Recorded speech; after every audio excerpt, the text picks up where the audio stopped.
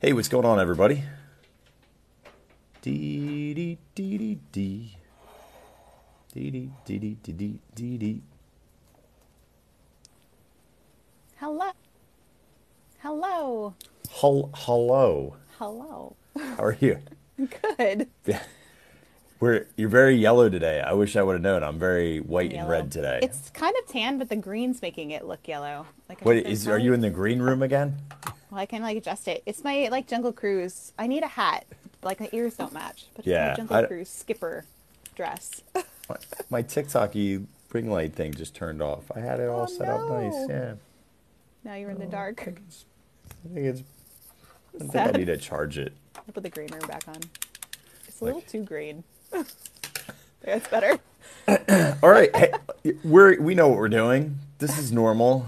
Uh, know. I do have I do have a coconut mug, coffee mug There from the go. Polynesian. All right. So That's at least perfect. it's kind of setting us up, you know. I didn't have any other plant like like mugs. Like who does?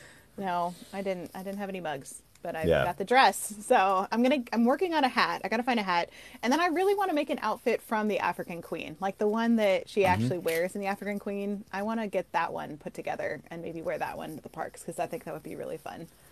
But it can't look too costumey, so I have to figure that out. Correct. Correct. Okay, so a bunch of people are asking what we're doing, so I feel like we should just start the show. Yeah, let's do it. Let's just start the show. Go for it. Welcome to another episode of Distory with Kate, the Disney Cicerone, and myself, Kirk from Walrus Carp.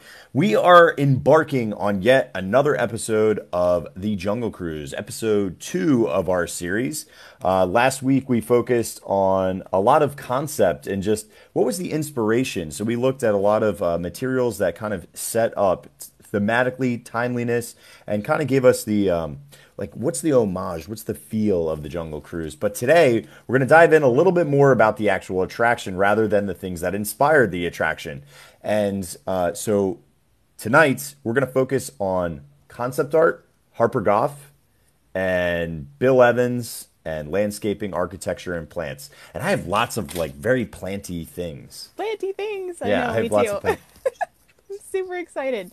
I know I can't. Um, I this you know of course there's so many stories about the plant life in the Jungle Cruise, and a lot of them have been told already. But there's a few pockets of this that I think that people have not heard before. So I'm very excited to dig into that.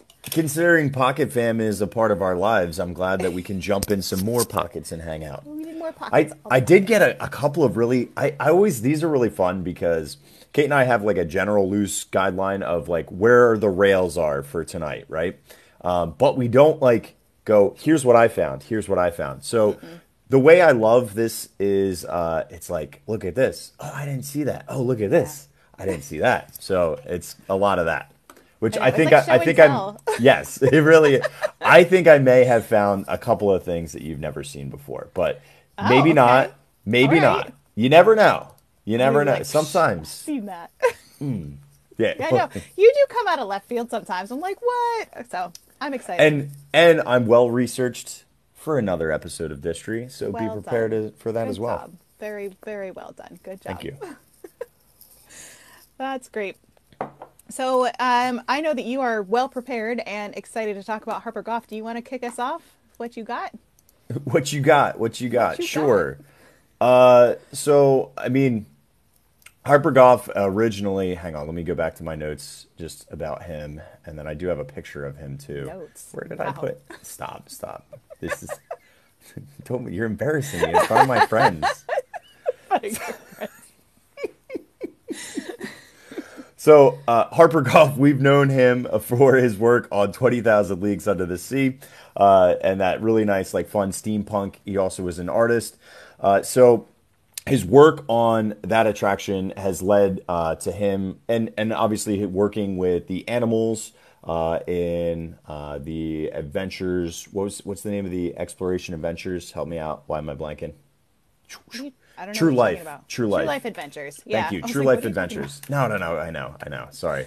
True Life Adventure series, that docu series that did so well, and he's the one that uh, helped direct it. So Yeah. uh, brought him on board because originally the Jungle Cruise was supposed to be horribly boring. Like horribly, uncontrollably, educationally boring and awful. It was supposed to be very scientific uh, observation. Uh, and that's why originally uh, Adventureland was supposed to be that true life Adventureland, so that you really were engrossed in education. It's kind of like the Epcot before Epcot was a thing. But So- there was there was one joke in the original script, but we'll we'll talk about it when we get to scripting. But there Okay. was a one joke in the original script, so it wasn't a great So, joke. I forget. I don't know if we uh, we actually looked at him before, but there's there's one picture of him. There's there's actually quite a bit. He seems like One. he was older. Yeah, he's. I mean, here's younger. I don't know what he's talking about, but there's a lot of Goodwill Hunting behind him. Uh, some chalkboard writing, so it must have been important. Apparently, he was a musician too, and that looks like one of his kids. I have another. Hang on, I have another picture do, do, do, do, do, of him in front of some plant life too. Oh, this is actually him in front of some gators. Very realistic Yeah, that's, gators that's too. That's what I think of him as when I see him. I mean, nothing nothing says uh, I worked in Imagineering like a stack filled, like a pile of gators, a whole. Oh, you, hang on. Fun fact: Do you know? Do you know? do you know what a group of gators is called? Gators on the water. No, It's called. It's called a float. a float. Yeah, and like hang that. on. There's there's another group. Hang on, a group of gators on the land is is called something else. What? Do they have Yeah. two different names? Yes, yes. This is That's crazy. wild. It's called a congregation. Ah, okay. So they congregate and they float, which I mean is kind of what I do on vacation is congregate know, and right? float. Every time I go to Disney, congregate and float. Mm-hmm. Yeah, you could also call them a bask because they like to take in sun as well. So, you know, Yeah. I'm looking forward to when we do our animal episode because that's going to be a wild episode. Oh yeah. Oh, it's that. yes. Uh, I have concept art stuff. Do you have anything you would like to add to Mr. Goffian? No, I think I think we can move on to concept art because there's so much other things that we can go over. Okay. We've already we already talked about it a little bit last. Like episode. Schweitzer Falls, Like we'll go over it later. We'll go over it later. Yes. Okay. Uh, I don't know which one I want to start with first because I saved these from from last week. Let me find one that I like best. I like this Um, one. Okay. I like this one. I think this one's good. Because I, I don't want to start with like colorized versions of things, but very, very early sketch of the Jungle Cruise. I love the uh, the Cambodian temple, which we do get pieces of. And the, the other thing that I just love about the concept art is none of these rivers are straight. Do you know what I mean? Uh, it was always going to be winding. And uh, remember, we're looking at concept art right now. Eventually, we will get into the reality. I'll show you what it looked like before uh, they put anything, then what the land looked like cleared, and then we'll look at what it kind of looks like when they're actually installing plants or putting them in there. But Yeah, and there's the gators. They're still yeah, on there. wait, hang on, hang on. I don't know. I can't see them. How can you see them? What do you got? Readers on? Yeah, I can see really well. Oh, there. They're Yeah, right- they're dude. right there. Wow. It's f- talk about forest for the trees. I couldn't see anything. Yeah, there he is, basking away. Remember, he's on land. Watch out for Ginger. Yeah. snaps. That's true. Uh, I always loved the joke about a crock pot. You know, Ginger and uh, what was it? Ginger and Frost, because Frost bites and Ginger snaps, and Yeah. uh, they just got married. So if you want to get him a housewarming gift, you can always get him a crock pot. It's a good one. Yeah, it doesn't get used very often. I actually heard a couple of new jokes too. I I do like um I have I have some plant jokes. We'll do some plant jokes as we get to the plant part. But Great. Because Anyway. we can't do this episode without jokes. So right, right. this whole series needs jokes. Um, I think you and I have a I have another one too. I, I bet you have the colorized or decolorized version of this so other one. So many. Yeah. Do you have Okay. the so? I have this one too, which I really like. Which you can actually Okay. have Harper Goff's Yes. signature on there. I love that one. Um, not only because we see that boat, which we will talk about the boat construction a little bit later, but the boat that came from the African Queen um, is really evidenced in there. You can see that design, um, but also the the stump is fascinating to me because it reminds me of something very specific, and I don't know. This is pure speculation. that I, I don't know. But this it reminds me so much of this one every time I see it. When you had said that earlier, I honestly couldn't figure out where you were making the connection. I was totally stumped. But it just the shape of it, the the roots across the bottom, like all the kinds of things about it remind me of it. I don't know if there is any connection, but it's a it's a water ride with animals, and I'm like, I wonder if they just had breezed past through some old Yeah. concept art because this is the one that's actually from the movie that it's based on, and it doesn't it doesn't look anything like that really, except for like maybe the bottom for Splash Mountain. So I just it's it's, it's interesting to me how much it looks like Splash Mountain in Chickapin Yeah, it kind of does. It kind of does. Yeah. We don't have a lot of time though. We it's kind of truncated, so maybe we should move along. Oh gosh. Yeah. This is going to be this whole series, by the way. It's just I'm terrible here for jokes. it. I love it. Um, and we do get that little like hut. That is one here. I've got a picture of that. So I mean, these canoes get used. We get we get canoes that are similar to this.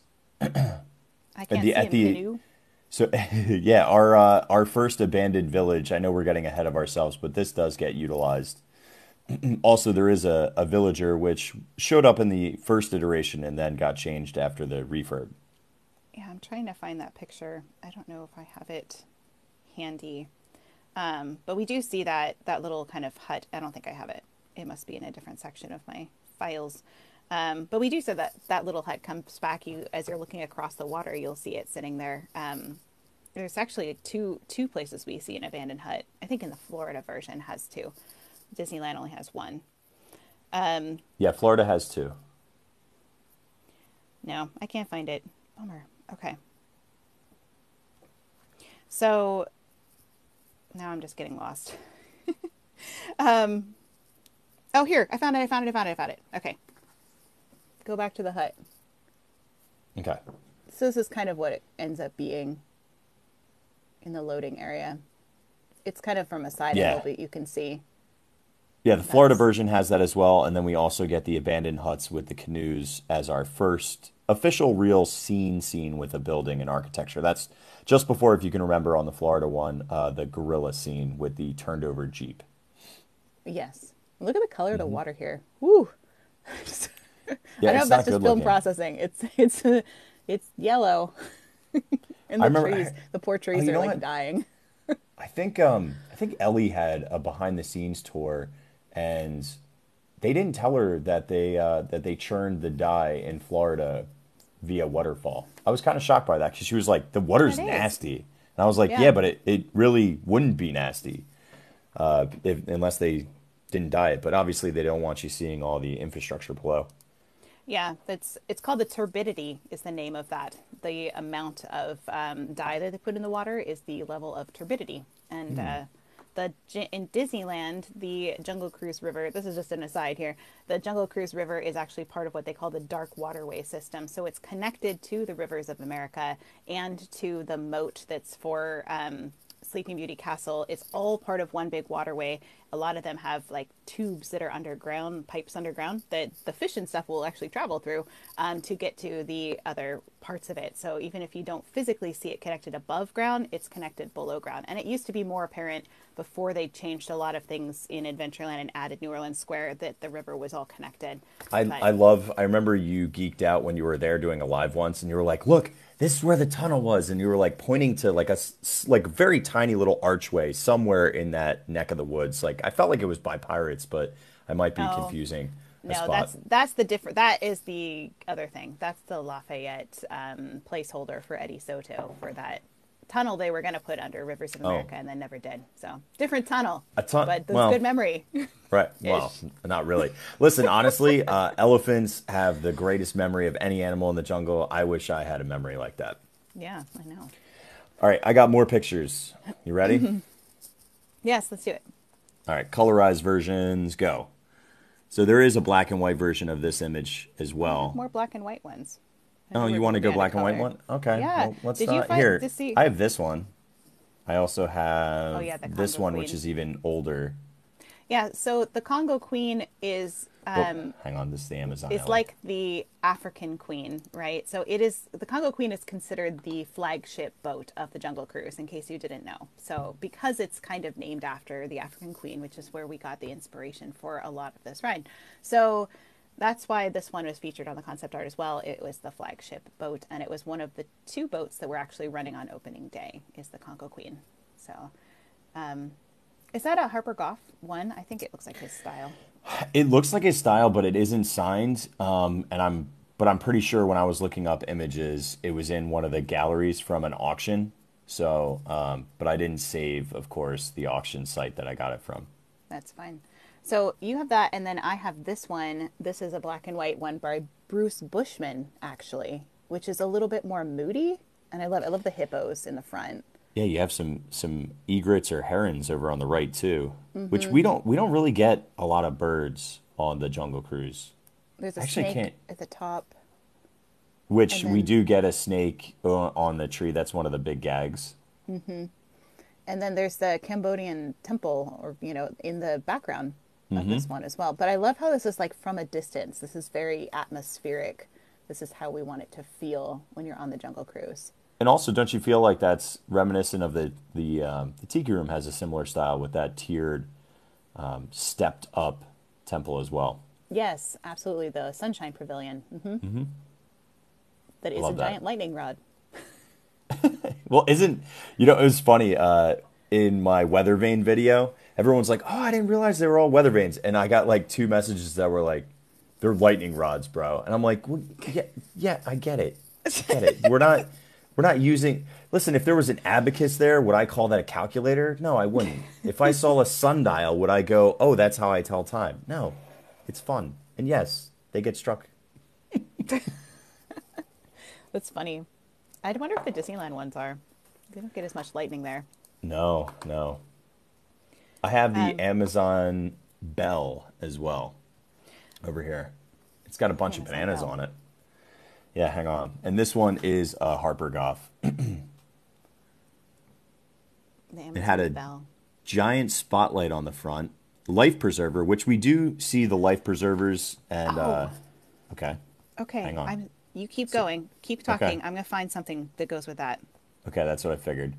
Uh, and then, of course, we have the steamer style boat. So we're getting that engine in the back, which, of course, we have. And then we have a bunch of bananas hanging off of the the ship, which doesn't exist. I know we don't have bananas. There's no there's no bananas to be seen. Okay, so Am I going to life preserver? look. No, well, no. Life preservers are a, a whole other thing. We'll have to get into that when we get into the boat design. But if you look at the top of that canopy, I was just noticing earlier um, in Hollywood Studios, if you go in One Man's Dream, there's actually a model of Adventureland um, in the Jungle Cruise as in Disneyland as it was originally planned. And I was looking at this today with Elliot, and he's like, "This canopy on this lower boat is not a striped one. Yeah, it is thatched. like yeah, it's thatched." And Elliot was like, "Maybe it's a tin roof." I was like, "I don't know. It looks kind of like plant plants." So that Mm-hmm. now tells me it looks like bamboo, maybe strapped together. Yeah, which is funny because in in this concept art, uh, it looks like it doesn't look thatched or bamboo on the top. It only looks like it on the sides. Do you know what I'm saying? Yeah. So that's really interesting. Yeah. So at some point, I mean, it made it all the way to the model, but then they never used it for the canopy, which I think is really fascinating. Yeah, I'm curious as to why that never happened. Mm-hmm. So when we get into our boat history, we'll have to dig a little deeper in that, see if we can find that. Which Another another riveting distory about boat roofs coming soon. I know you're gripping and ready. I know. This is like it's so fun. I I love these episodes because they're so granular, you know, and Yeah. I know this is a niche audience, but listen, if you're listening to this, we love you and appreciate you because we know you get it. Yeah. Well, and the the canopies on the boats are very. I'll just say this now because we'll we'll say it again later when we do more boat design. But the canopies on the roofs, the reason that they um, had the canopy to begin with, you would think it's like, oh, it's for looks, it's for to keep the sun off of you or the rain. Um, those were part of the reasons, but the main reason was so people could not look up and see how like unfinished the jungle was.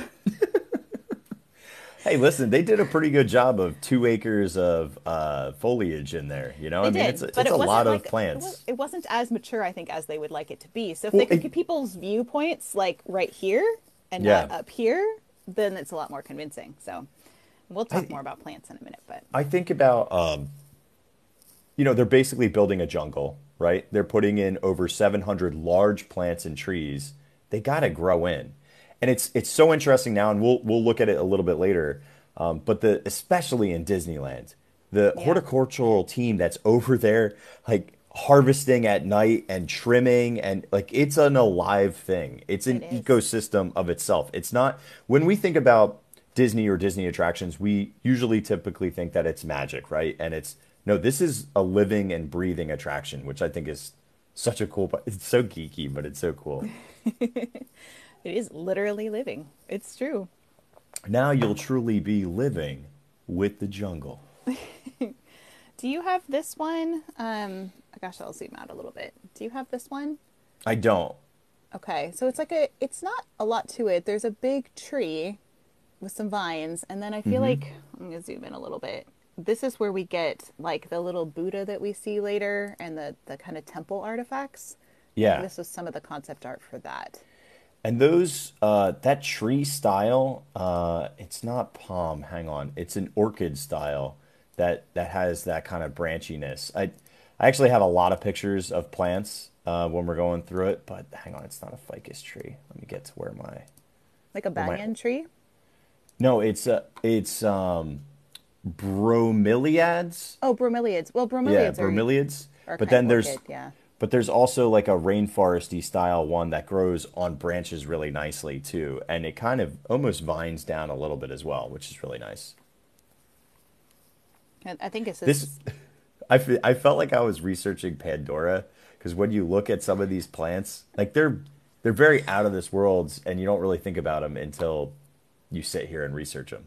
Yeah, I I can't really think about um, like every time I think about Pandora, I think about when I threw my phone in Pandora, and then I think about the Grinch tree. so I have a little bit of like PTSD from Pandora looking at the plants. Yeah. At least I didn't break it. It didn't You break. did not break it. But I chucked my phone because I was What was so it, what was the other what was the other phrase? It was a goblin, goblin, goblin bush, something. goblin shrub, have to look it goblin. Yeah, because they they were getting a They- cease and desist because of Grinch. Can't call it a Grinch tree, all right? Sorry, Cameron. Get over it. when we figured that out, I was I think that's like that was as live as this story as it gets. me chucking my phone in the parks because I was so excited. Um, I also love for concept art. I do love this kind of overview of Adventureland, which we've looked at before. I think for the Tiki Room. We I think is did when we looked because it was in the background. Yep. But you can the see the bazaar. That arch back there is the bazaar, which has been around since opening day and is still there. Um, and you can see the original um, dock and loading area that had the little observation deck, but did not have a second story, which was added way, way later, which we'll talk about when we do our Q episode later on. But um, there's this is definitely one of the earlier drawings for this. But I also love that you can kind of see how they have the two sided building here, for they have um, what is now Jolly Holiday Bakery, and then the other side is the it was Tahitian Terrace, but um, a little water buffalo I think is on there too. Yeah, a little water buffalo is on the little arch. I like the water buffalo. Or a longhorn if I'm over in Frontierland. That's right. but only in Florida. You can't see it Yeah. from Disneyland. Every time I would go over the crest of uh, Splash Mountain, I would think of, oh, there's a water buffalo. Because it would be to the right, like directly to the right of the crest of the hill. They're all over in this, these old pictures. Like this one, you can see the actual construction. He's just chilling on the top. it makes me happy. Um, do we have any more concept art? Do you have any? I do. I do. I've I, I'm getting into color. Can we get into color? Oh, go for it. Yes. Okay, sweet. All right, so I've seen a black and white version and a colorized version of this, but this is the loading dock as well. So interesting though, this one has a horse-drawn uh, little carriage or little wagon, which I don't see at all in ours as any kind of uh, beast of burden lifting anything. And then we do get a second floor, which is actually a lookout tower in this concept art, which I think is kind of interesting. And Yeah. it's also funny too because you wouldn't see this sign, this uh, come again sign, until you're unloading. Because when you're loading, you're getting onto the boat, it'd be behind you. So it kind of makes sense that it Yeah. would be there after. Oh, that's interesting. Over here, uh, again, we're getting another uh, horse-drawn carriage or wagon, another steamer boat, um, two different style canopies as well. This one is that that vinyl or cloth style one, and that certainly looks like a bamboo thatched one. Yeah. Uh, and interesting arrangement as well as the model because this is the exact same placement with of canopies of which one was in front of the other. And then over here is kind of like this reminds me of like how the British colonized areas and you get that very much when you're leaving in at least in the Florida version when you're leaving Crystal Palace area you notice it's starting to get more wild and the plant are changing but like in the middle of the jungle is this Victorian style home and I kind of get that vibe from these nice steps and there's like an umbrella like the wealthy aristocrats in the jungle would be you know maybe vacationing in this place and taking tours you know It's like maybe. an early tropical hideaway, early um, Tahitian terrace Mm-hmm. kind of vibe over there. yeah It's interesting. But they always kind of planned for it to have some sort of resting spot, eatery Mm-hmm. over to that side. Kate would be the one under the parasol, and I'd be the one scrubbing the boat, all the muck off the boats. So, Facts. okay, uh, I have more.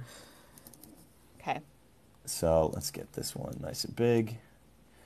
This one's really, really nice. So this is that exact same image that you have, but this is from D23, but it's a colorized version of Oh, yeah. that exact same picture. If you want to pull that one up, we can do a side by side. Yeah, let me let me find it. The thing that I notice here too is you can really see the um, the detailing on this. It's got a sail on it, which is interesting. It's almost like a houseboat too, the way it has a coverage on it. yeah. Dude, bougie vacations in the jungle were definitely a thing for for British aristocrats or European ones. The only reason why I say that is uh, you can imagine with like the Egyptomania and unwrapping mummies, like all of these things, these oddities, these strange lands. Here, let me see if I can get. There you go. so yeah, and there's the bazaar you can see in the back again. And you're right about uh, even this. You can see more definition. These are tables and an eatery as well Yeah. in the front. Well, here, keep that up. I'm going to show the little video I have of um, the actual model. mm-hmm. Let me see. Oh, I can see that too. Uh, Jackie's saying that these boats kind of give her a Moana. Make way, Wayfinder. So this is the actual model that they used. Yeah, and you can see the roof. Uh, the only thing that's the difference um, is the placement of it, but there is that lookout. Um, there's one more here. You can see a better front view with the bazaar. And just if you don't know what uh, Kate is referencing, she mentioned it before, but kind of said it in passing. Uh, One Man's Dream is a location in Hollywood Studios. It's an amazing, like 15, 20 minute documentary about like why Disney even created a theme park. It's beautiful, and Kate and I cry like little babies in there. But before that, before you even get in there, there's all of these real life either models or equipment uh, that they utilized in a lot of their filmmaking techniques or the theme parks themselves. Uh, there's also the Sully meet and greet all the way in the back, but it's a really nice space in Hollywood Studios. Hollywood Studios doesn't have that many rides, and with Aerosmith going down in a couple of weeks, uh, it's I think that's a great use of your time if everything is jacked. Like go into this museum, and this is such an amazing model, and um, I guarantee ninety percent of Hollywood Studios guests don't even know this exists. No, and the some of the stuff in there is reproductions, but a lot of it is original. Like Yep. um, Walt's um, Granny's cabin, that was kind of be the original idea for Disneyland. That was Disneylandia, which we've talked about before. Um, that's on display in there that Walt made by hand. So I mean, There was there was the facsimile of his classroom um, in Marceline is in there as well. although it's not his desk, they say it's his desk. It's not. The original Yeah. one is back in Marceline, so that's a that's a little. That's not. Fake fake news. fake news. This just in. Disney's been pawning off this debt. I that coming coming to a uh, Disney Cicerone FYP near you is. Did you know this this desk was fake and they're pretending that it's real? You know that's a good video though. I know, but It's actually I a feel, good video. Don't feel know. icky about it. I it. gotta tie some tie something to it because I'm like, oh, I don't know, but yeah, it's true. It is very. Sometimes we need to fake it until we make it. um, Yeah, so there's also there's a model of uh, Sleeping Beauty Castle in Disneyland. It is a reproduction, but it's actually a really uh, interesting model. And then they have a lot of, um, gosh, they've got the Cinderella Castle model in there as well. There's all kinds of things. Um, It's a great exhibit to go in and check out. Even if you only have a couple minutes to breeze through it, I would highly recommend just giving it a look. Yes, you should. All right, I got two more. You ready? Okay, yeah. All right, more visuals. So I have uh, this awesome view of um, which this would be our more tribal. Obviously, this got refurbed. You do see uh, the tribe in the background, huts, as well as the canoes again. What are we looking at? I have this picture of Walt that I just kind of feel like goes with that. Yeah, it's yeah. That's Get him a something. close shave, you know. He's got it, and that's a spear, right? You can see underneath his uh, his tricep that goes down, so it's not like like a little tiny dagger. Like he's, you know what yeah. I mean? Yeah. Yeah. Mm-hmm. Definitely a theme they cycled out of the Jungle Cruise later, which we'll Yes. talk about in Yep. later episodes. But it's history. then, yeah, yeah, it is. These are things that we talk about. Uh, let's talk about a giant flamingo for a second. Uh, so another colorized representation. We do get that eatery in the upper left-hand corner. We do get our scouting uh, from the launch area, but look at the size of that bird. Why Why, on is earth? so big? I don't know. There's two giant flamingos next to a skipper that boat that look. Yeah, yeah. It's it's very strange. Although this is the first time that I'm seeing um, a waterfall, so I think that's kind of unique. You do see rapids, but you also see a waterfall. So like this section right here is the rapids section, which is very African Queen, and then we have waterfalls here. Now we're getting a lot more animal uh, life. butterfly. Like our butterflies show up. We have monkeys. We have uh, gators, elephants. You have giraffe or long neck zebras. Uh, then you have hippos. Uh, the canoes and the huts are back here. A giant tortoise, and This- that looks like a tiger. Florida. This feels like a Florida sketch to me. It could be. because because we don't have canoes in Disneyland and we didn't have the butterflies. This this very much, and that's Yeah, why the flamingo might be there because of Florida. It might be.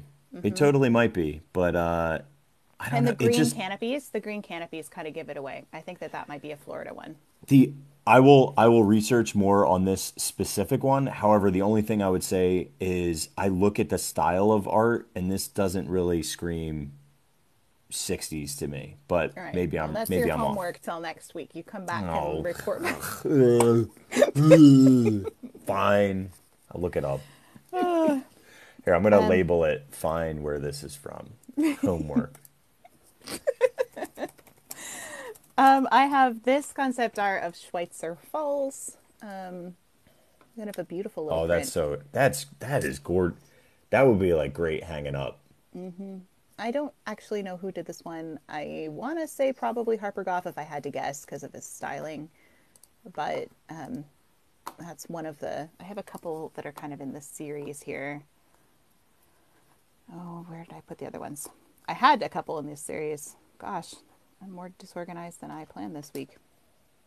Guess that's the only one I've got to show you right now. But Okay. I, I love that one. Oh, and this. Did I do this one already? This is another one of Schweitzer Falls. Did we do this one? With the. Um, we did not No, water. and that and that's to me that's the closest representation of what it actually turned out. You know, Yeah, this is a great one. So, heading to the backside of water, O2H. And again, it's the Congo Queen, which is the flagship boat for Jungle Cruise. it bothers me immensely when they don't do uh, the periodical joke. I think that's so funny. Know, like When they they have to do the backside of water joke because they've learned that guests, if they don't do it, guests get really angry. Um, so it's like it's now it's required. I don't know do if the that. O2H is required though, because the sometimes I backside of water hear is, for backside sure. of water has to happen, but Yeah. O2H sometimes happens. Um, and I've only got the um, Uh, O2H, uh, you guys think that's funny, but uh, you know it's occasion or periodically it gets a laugh. Something like that was was the tagline. It was a good one. Okay, uh, Bill Evans potentially. Yeah, so we transition here to talking about some landscaping. Mm-hmm. Good. So I, I can show you uh, the land of of Disney prior to them building anything. Let So me I show that. to, before we get to Bill Evans, I think we have to talk about how they laid out that river because that sounds like where we're headed here for how they actually got it because that's all Harper Goff. Yeah. So- well, why don't why don't I pull up and just show people what Disneyland looked like, like the actual physical land that they bought before anything was built. Yeah. Is that fair? yeah. It's it's very funny looking at this because it's just so crazy.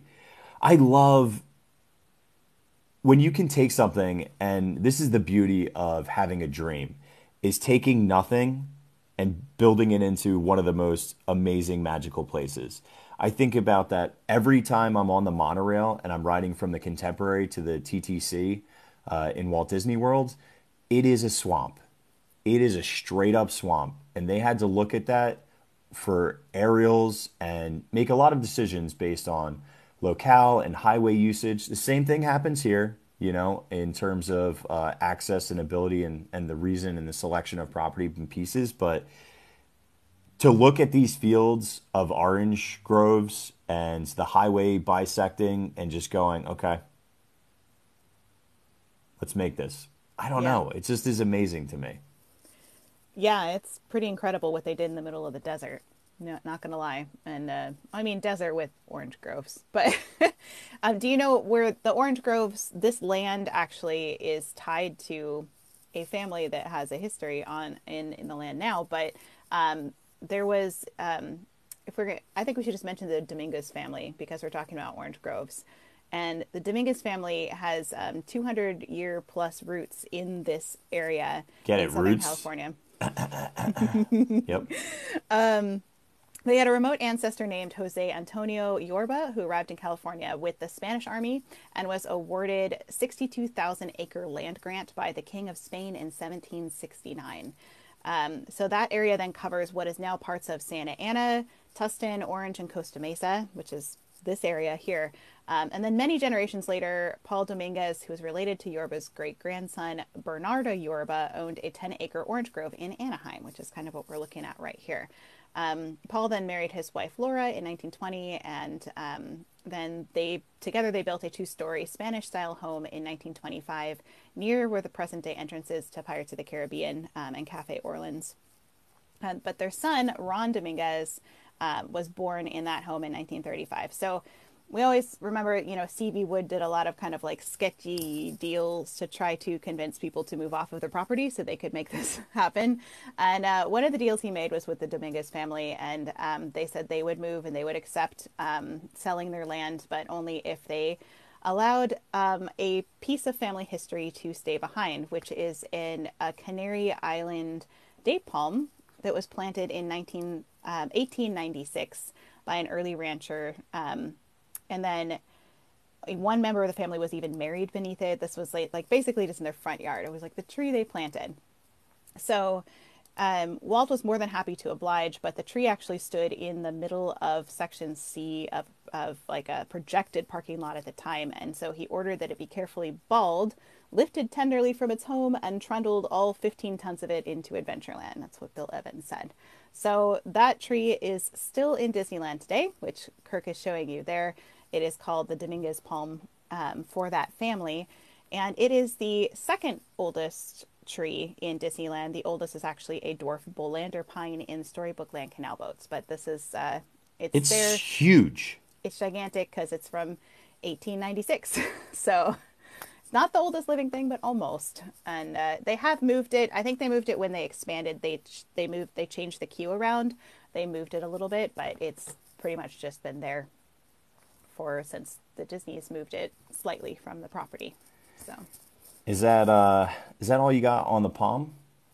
is that all I got on the specific palm? I do have Ron Ron Dominguez then. Um, so he was given a job as a as a ticket taker um, on opening day in Disneyland. And then later he kind of moved up his way inside Disneyland. He worked his way up and he was eventually became the executive vice president um, of Disneyland. When he retired in 1994, he was honored with a window on Main Street above Market House, which Kirk has there, which um, I love. It says property management and will care for your property as if it were our own, in nods to his family and they did own it. Yeah, Disney. Disney now has his old home, his childhood home. So, and then he did unfortunately pass away in 2021, but he was remembered on Main Street um, and honored there. It's on um, Market House. It's where you can find that window. Mm-hmm. I love that. Yeah. Yeah, thank you, thank you. See, look, I planned. Ja- Jackie goes, Kirk, that was perfect timing. Yeah, well, when you set up your slides and you know what to talk about. Uh, all right, here's here's my moment. Here's my moment. moment, nope, nope. Here's my moment. Have you ever heard of the Jungle Cruise Survival Guide, written May fifth, nineteen thirty-eight? No, Oh, you haven't. I think heard of that. Oh, oh, amazing. Oh, I can't believe that. Something you haven't heard of. So this was uh they created this in the 1994 refurbishment. But why on earth am I talking about something in 1994? Great question. That's because the Dominguez Palm is in it. Can I read an entry of the And so this was this was a uh given to skippers and it incorporated now a little bit of storyline that was etched into the revision that happened to Indiana Jones and the Temple of the Forbidden Eye around the 2005 refurb. So there there is an entry in here, and it's obviously this is just storyline, uh, but it's fun. But it talks about the Domin- Dominguez Palm. July 29th, I'm reading you an entry from Jeremy Livingstone. July 29, 1933. I have noticed that the humid tropical air is causing our boathouse to deteriorate at an alarming rate. Paint is peeling everywhere, and the roof above our supply storage area still needs to be replaced before the rainy season starts. Speaking of repairs, Duke rammed the boathouse just past the loading dock with his boat last night. The maintenance bay is in danger of collapsing into the river. We had to use a palm tree to prop up the second story and use railing from the side of the boathouse to support the dispatch office as it began to separate from the building. The temporary fix will have to do as there is no money for proper repairs. I place Duke on ticket and booking responsibilities until further notice. Jeremy Livingstone. Oh, I love that. That's so great. Well, well done, Kirk. Well done. And you can see that they put the fast pass for Indiana Jones right below that palm tree. Of course, it's not there anymore because we don't do that. But um, so it's it's literally by the exit of Indiana Jones, and it's kind of almost feels you can see it's just on the bottom there. It feels like it's kind of propping up that corner of the Jungle Cruise queue. So that is um, wonderful find. Well done. Well done, my friend. So I also have a. I don't. This may or may not be fact. Okay, I have a a story that is maybe what they told cast members. Like this is like a more of a deep dive on the Dominguez uh, Palm to like give it a little bit of of story. According to this story, this legend that sometimes skippers would tell guests. I don't know. I, I haven't been on that version. I don't know if it's a part of the stories or if they even point it out. Did they point it out? I don't think so. Okay. I don't know. So this was written. I don't. I can't find the script. I, I desperately search for the script. So this is secondary at best. Still needs research. According to the story, the Dominguez palm is rare and valuable tree that can only be found deep in the jungle. The tree is said to have magical properties and is sought after by jungle adventurers and treasure hunters, specifically the SEA. Story goes on that the Dominguez palm was discovered by a Spanish explorer named Don Diego de la Dominguez, who was said to have discovered the tree on one of his jungle expeditions. And the tree was so valuable that Don Diego claimed it for himself and transported it back to Spain, where he kept it as his own personal treasure. Hmm. So they say it's it's there's they're saying there's even a joke behind it, but I don't even get the joke. I'm gonna read the joke, but it doesn't make sense to me. Maybe you'll understand this. Um, but it's found in a dangerous area guarded by dangerous animals, treacherous terrain, and the tree is often used as a punchline where the skippers say, and if you look to your left, you'll see the Dominguez palm, or as we like to call it, the tree that got away. And I don't understand that. Makes no sense to I me. I think I've heard that joke before. Uh, but I, I don't understand what the what the joke is referencing. Like I'm missing that one, and I watched a couple POVs and I couldn't catch it because it, it'd be right in the beginning, you know, because Indy's on the right when you're coming out of the load. So I, I don't know Yeah. where it is. I don't know. I've got to think about that. Mm-hmm. I'm not sure what the joke is about. Yeah, I don't know either. way. But that's all I. I mean, it moved. So, but I don't know if that's what they're referencing. The fact Yeah, like the tree got away, like meaning that it was a mobile tree. You know, like Yeah. it it it moves because it has moved more than move. Mm-hmm. once. So maybe that's part of it. I don't know. Um, Christina's asking if we've reached out to Kevin Lively, the, the former Imagineer, for any cool facts because he's worked on it, and we've we've actually chatted with him on lives and things, and he's gotten um, some really amazing information for us that we'll talk about in later episodes Mm-hmm. when we get to the newer Jungle Cruise stuff. I did ask him about the script, the original Jungle Cruise script, because I knew he had access to that at one point, and he told me I'd have to like break into some house in California to get to it now, and I decided I don't want to be a criminal, so probably won't be doing that. you should probably find the house and reach out to the owner and be like, hey, do you have I know, Uh. like some other people we know that maybe did some things like that for the Jungle Cruise, right? Mm-hmm. Uh, Jackie asks, and I don't know if there's any truth to this. Was there is there any plaque or anything that represents it and just and points out anything about so. the Dominguez Not that palm? I've seen. No, Okay. it's just a giant tree. You would miss it if you didn't know. Um, there's just that subtle window on Main Street if you know the history of it, and but literally, I think ev- almost everybody who knows even a little bit about Disneyland history usually knows about the Dominguez palm. It's a pretty um, famous story by this point. Mm-hmm. I wouldn't say it's a secret so much as just a story. It's it's knows. nice that the it's um well the you know what's cool about it is it's a throwback to who originally owned the land, and I think that's a nice uh, little historical nod to the original owners. And it's crazy that it was Yeah. Spanish owned as well. Like I think Mm-hmm. that's wild. Like I, I sometimes I don't I I don't remember that we were foreign occupied. You know, Yeah. like I get I get it. You know, There was had- there was an America before America. right. It's, but it's it's like so funny because we've been here and it's we haven't even been here that long, but you know No, it's not in the uh, 200 years goes pretty quick. You know. Yeah, So no kidding.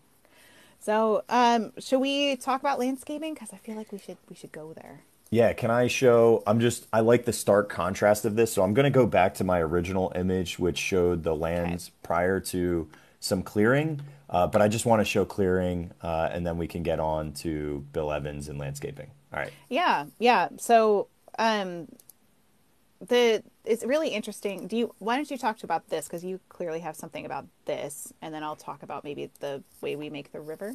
I just yeah, I mean, so I just think it's it's interesting to see uh, how much that they had to remove to physically build uh, Disneyland itself. Uh, I I'm not familiar enough with the highway structure, uh, but I would have placed would the Jungle Cruise have been here? No, uh, Or would have highway- been it's on here? the other side. It. Yeah, it's hard to tell from that picture, but it would be in the left side most likely. Okay, I'll I'll monkey with that while you're Harbor uh, Boulevard would have been on the right, and then Katella on the, the bottom.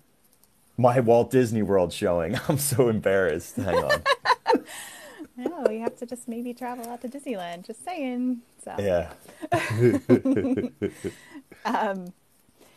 So I'll talk maybe a little bit about the actual like construction of how did they make this river happen, you know, in the middle of this orange grove. So what they actually did for the trees, since there was a whole bunch of orange trees there, they wanted to keep as many as possible.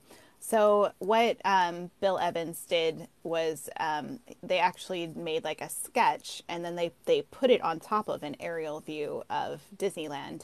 Um, so they made a sketch of where all they wanted their trees to go for the Jungle Cruise, and they put it on top of the thing. And then they're like, okay, we want to keep this tree and this tree and this tree. Anything that was going to stay in the original elevation, those are the ones that they marked to keep. Um, and they did that for all of Disneyland, not just the Jungle Cruise. But um, we've told this story before. I'll just mention it real briefly that um, it didn't exactly go as planned because they they marked all the trees they wanted to keep, um, with green and the ones they wanted to remove with red, like little tags or ribbons. Um, but the bulldozer operator who was taking out a lot of those trees was colorblind, so he just kind of took out a ton of them that they more than they'd planned, and they were worth five hundred dollars a piece. They were not cheap trees, and it was very hard to find mature trees. So this was kind of a little bit of a catastrophe to have happened. Um, but we did keep a few orange trees did end up staying in the Jungle Cruise because of them laying it out like that. I did find a map overlay. Um, so, all right, pre clearing, post clearing, mm-hmm. and this is the exact same angle with the, you can see the highway in the background. It's, hang on, can I, uh, used to be able to grab this thing and rotate. Okay, I guess the double click doesn't work. Never mind. I was trying to do, you know how you can like be fancy and like make it like three, I probably have to like click yeah. shift or something is it shift or something fancy? No, it's not. Control it's maybe. fun to watch you no. struggle though. uh, yeah, I don't know what I'm doing. I, I remember you used to be able to like like rotate this and pretend it's like Google Earth. Uh, but you can see so Adventureland Jungle Cruise is here. Remember this highway because that's going to be in the back right of our photos. So our Jungle Cruise would be in this neck of the woods right yeah. here because there's there's the highway where the pen is and then highway again. So Jungle Cruise would be this neck of the woods. Yeah. So, um, when they actually, so do you have construction footage of showing them actually grading it? Um, I don't. I okay. I have a bunch of Bill Evans photos next, and I do have like I, the one photo I probably have. I'm sure you have. This is like the most one of the most famous ones. Mm-hmm. Yep. Which is funny because every time I see that, I was like, that car's super old for that era. I'm like, it's not. It's like 1950, so what, it was going. It was going on. I don't know who knows. like, did they? Is that, what is that? A horseless carriage? I know. I'm like, that's such a like belongs on Main Street, USA. It's crazy. Mm-hmm. Um. So let's just talk about Bill Evans since you've got that up. Let's talk about it was actually Morgan is his actual name. Morgan Bill Evans is his the lead in this project, and then his brother was Jack Evans. Um, so he, they were hired to put a green frame around all those adventures and rides. That's how Bill put it. Um, he grew up around plants, Bill did. Um, his father cultivated a three acre garden with unusual plants, and then he did a 1920 military tour of duty which allowed uh, Bill to ha- harvest a whole bunch of exotic seeds from all over the world, like South South Africa, Australia. He just collected seeds wherever he, wherever he went. Um, then he began wholesaling rare, rare plants in 1931 to local nurseries, and then opened a landscaping business with Jack in 1936. They had all these unusual plants, which actually made them very highly valuable to a lot of the Hollywood socialites. Um, so the, he had clientele like Clark, uh, Clark Gable, Greta Garbo, Elizabeth Taylor, and Walt Disney. Um, so you would say that uh, while you're more of a fancy pants, uh, Bill would be more of a fancy plants.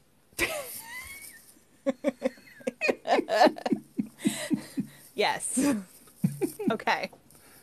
Um, so uh, I love this quote from the Imagineering story, which I just happen to have next to me. It's so heavy. Um, where they say his plants were like his children, and he knew the history of every tree he planted, whether grown from seed or transplanted from somewhere else. So his plants were like his children.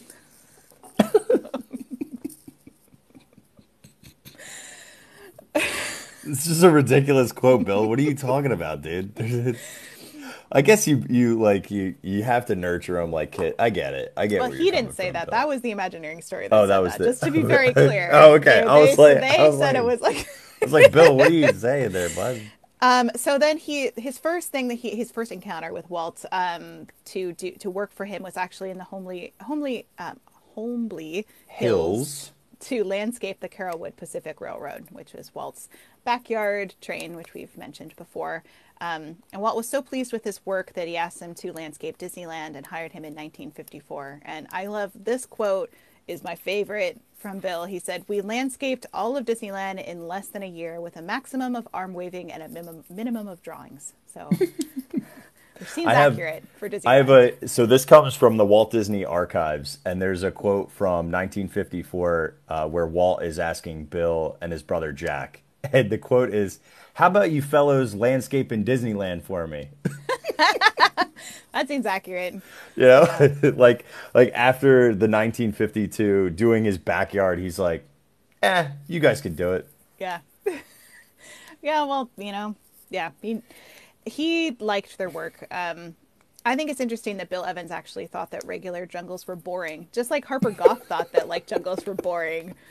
This is like a common theme with creators. Well, okay, so boring. so I have a I have a good jungle line here, right? So uh, this is again from the Walt Disney Archives. So all the 80 acres of Anaheim gets landscaped uh, by by Bill from these orange groves into all the amazing things with with bamboo and ficus and palms that can tower as tall as 70 feet overhead.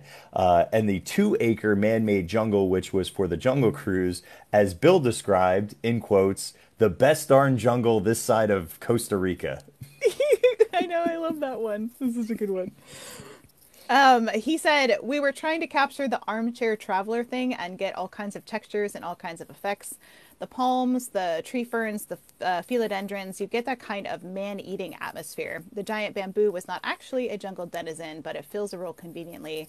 You might discover a rather pedestrian castor bean plant, but the effect is good and it adds to the texture. So he's like, let's just create all these different exotic plants that are from everywhere even though because he didn't like a regular jungle so he's like i'm going to make this like fantastic hollywood version of a jungle I need to rope drop Jungle Cruise because Kevin Lively and Marc Davis are stuck in my brain, and I need to do a carnivorous plant video. And I have Mm-hmm. all, I have everything else that I need to do it, including your amazing book that you gave me. Uh, but I just don't have a good video of the plants. You can see them; they don't look the same. No, Kevin, you did you did awesome. they need their I lo- eyes Yeah, I need I need the googlies at the top, you know. But i think they did okay. Mm-hmm. they did what they could you know sometimes they have to make compromises but um so the jungle cruise plants um, the reason this was actually the, one of the first rides that was ever constructed in Disneyland, mainly because they had to get the plants in so they could start growing because they only had a year till Disneyland opened. And can you imagine constructing an entire jungle in the middle of like a desert slash orange grove in a year? Like that's kind of a tall order. Hmm. Tall, seventy foot tall order. seventy foot tall order. Uh, I have I have a good quote too from Terry Palmer just about how they had to use all these like there was unusual plants that Bill wanted to use, but also they had all these orange trees. So this is Terry Palmer, the Imagineer. In the Jungle Cruise, there's a group of orange trees that most people would never recognize because Bill planted them upside down. He decided the gnarled roots of the orange trees looked like suitably exotic jungle branches which I couldn't find pictures of what they would look like now, and I almost feel like it's so overgrown that it would have to be a, better picture from when they first opened. Oh, I don't know, think or they even a video. now. I think they took them out. I think the only, as far as I know, I believe the only thing that's left maybe is that Dominguez palm, and like I think a lot of the other foliage has been like replaced over the years. Hmm. Um, but for sure, I have not. I don't think I've seen the orange, the upside down orange trees. It At all. Free, it freaks me out too because I'm so dumb and I don't think of like how to plant things. But I, this guy just like takes a tree and just flips it upside Flips down. upside down. Like I, I just think like don't the roots like how does that grow? How does that even have- work? The picture. Well, it's not. It's not growing. It's not living. It's just wood. Have you seen Well, it? No, that's what I'm saying is I haven't seen a Oh, picture. a picture That's what I. It's in that early footage. Um, I think it's even in the opening day report. Um, but it's um, what they look like. I didn't think to pull a picture of that for some reason. But what they are is just it just looks it's like wood that's upside down like a like stump and it looks like it's but it's got- dead. It's dead, and then they put moss Okay. on top. Is what they did. They put like Oh. a moss and maybe orchids and stuff. They put like a living thing on top of it to make it look like it Well, was like Well, that would make sense with Alive. uh, the growing. the orchid style that they have too. Uh, the those same ones that we talked about. Hang on, where are they at? Uh, those are the epiphytes and the bromeliads, which I can I might as well show them right now because I I think it's just you can see what you show those. this I'm gonna look for a picture whole of the stump. mossy kind of.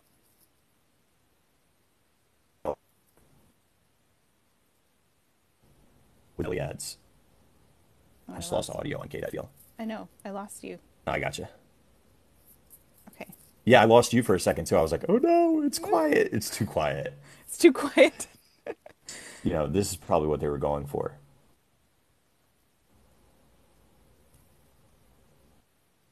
yeah, the bromeli- bromeliads and the orchids. Mhm. Or uh, well, here, because oh, I feel like we're stuck in a loop now.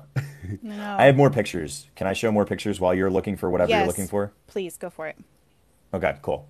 Okay, so here's uh here's Bill. Like I don't know what he's looking at, but uh I just love they're still in construction, right? Because you can see there's there's tons of things that are not filled out. You get the Mark Twain though in the background, but he's just staring up. I, I'm assuming at a tree or something. Maybe he's into birds. I don't really know.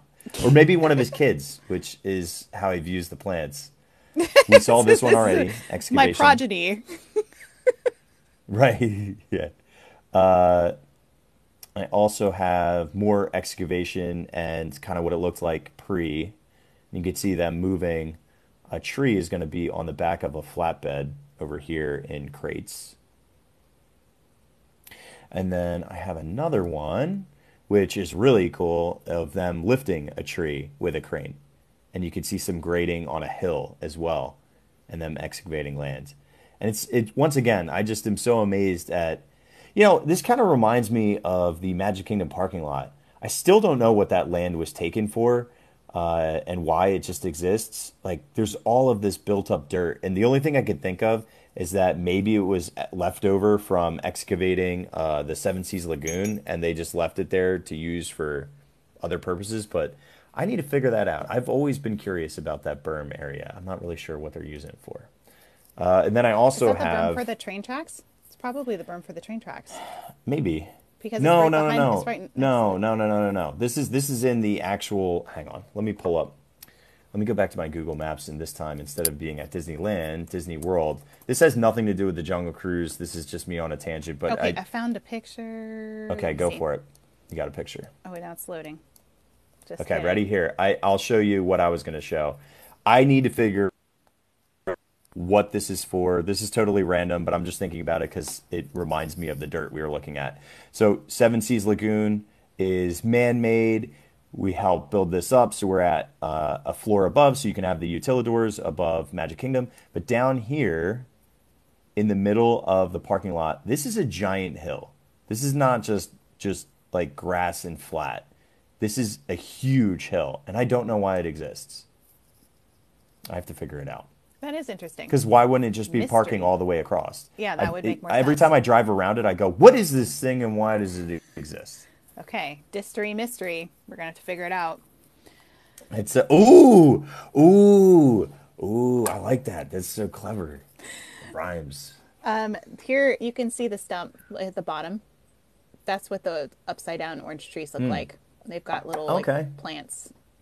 Just gets more pixelated if I zoom in, but that's that's essentially what they look like.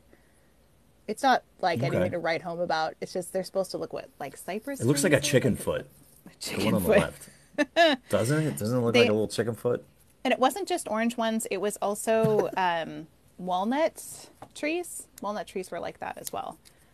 So, um, let me find my notes here because I had more about the plants. So, he said for the different types of plants that they had, he said we picked material from Brazil, Africa, India, Asia, and Malaysia. We pushed it all together. It's all quite compatible in that sense that it all has that lush, vigorous growth. When we attempted to do in planning the jungle was to make it look as though we had nothing to do with it. That's how Bill Evans put it. Um, and then um, so it was actually Harper Goff's idea to repurpose the walnut trees um, and turn them upside down to get that kind of mangrove effect. That's what it is. It's a mangrove um, from the gnarled roots, on which we ta- we grafted to the top half of the orange, truncated also to get the branches. So they actually like grafted an orange on top of an upside down walnut tree. Like they just did a little like Frankensteining of the trees to make it get the look that they wanted.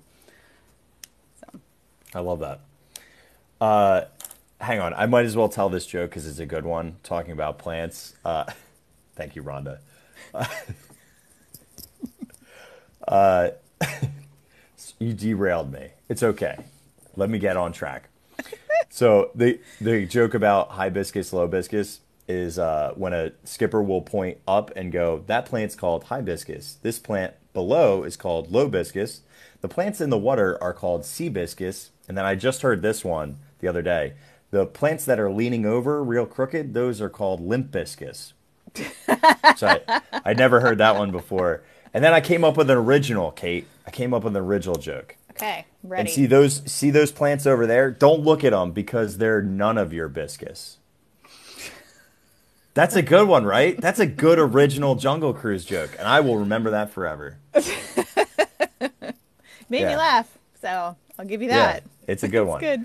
Okay, I would like to add into this conversation uh, that landscaping was really particular for Disneyland, and there was kind of there there's multifaceted of like how do you build in the middle of an orange grove slash desert all of this plant life. So For for three hundred and sixty thousand dollars is all they had to spend on all of the landscaping of all of Disneyland. That's That's it. Nothing. That is Nothing. zero money. Zero money. So, first up is plant selection, which I'll get more into detail on plant selection, but I want to talk about a couple of other points. Soil preparation was huge because you got to remember this is a desert. So, I did find that they used a lot of, uh, which was affordable and cheap, organic. So, lots of organic material and fertilizer. We're talking about poop from local farms. so uh, that was used to to kind of do that, and then they also had to have uh, soil that would retain the water rather than drain out. Sand is actually not really good. Sand uh, just drains all the way through. So they Yeah. needed something that was like more like clay based bottom, so that it would hold in all the water, because they wanted it to naturally be uh, really, really moist and humid and like a canopy, right? And the Yeah. same thing is is in Walt Disney World, and that's why even when you're going through the beginning parts, that all the misting, that's not like magic. That's straight up for the plants, like to increase the humidity level so that they thrive a little bit better. Which Yeah. leads me to irrigation.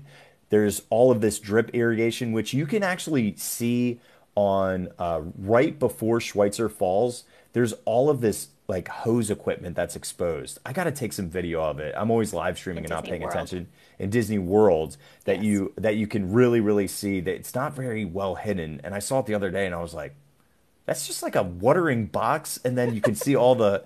But that's interesting because they had to put all the all the drip irrigation in uh, topography because they also had to build hills, valleys, trenches, which I will show a picture of in a second. And then, of course, landscaping uh, with all the rocks and the water features and the waterfalls and you know all that to add in. Hang on, I do have a picture that is colorized. It's a color picture, and I just like this one because uh, this is where we're heading. We'll eventually get into this more.